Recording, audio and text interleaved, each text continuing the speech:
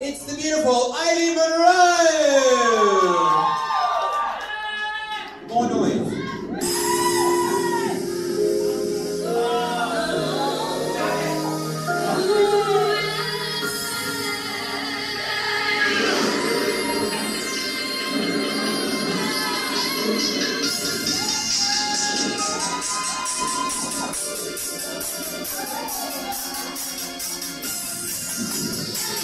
Oh,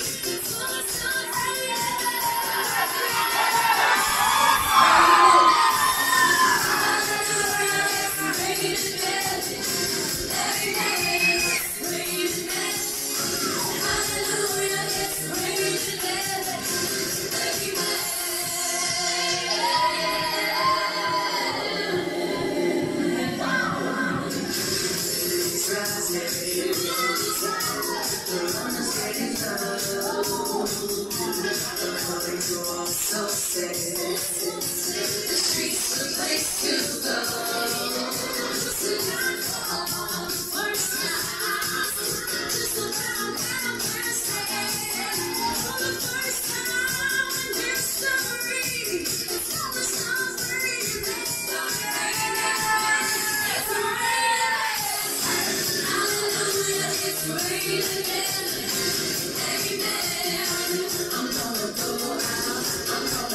you.